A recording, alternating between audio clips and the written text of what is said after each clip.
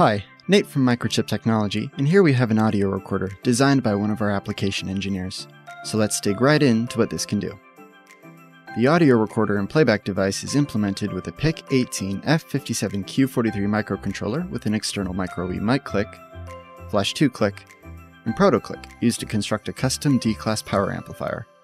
Now by default, this just sits in idle, but when you double press this button, it starts recording, and when you press it again, it stops. And now, you can use the same button to start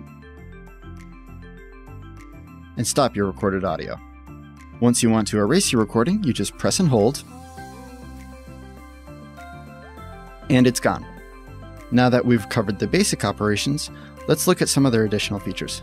Hold this button and you get audio pass-through. Changing this jumper lets you switch between playing to the speaker and a pair of connected headphones. And changing this jumper lets you select between recording from a mic click or a microphone on a pair of connected headphones. Thanks for watching. For more details, see our following video on how this demo works, check out our GitHub, or read the app notes linked in the description below. And if you want more microchip technology content, please like, comment, and subscribe.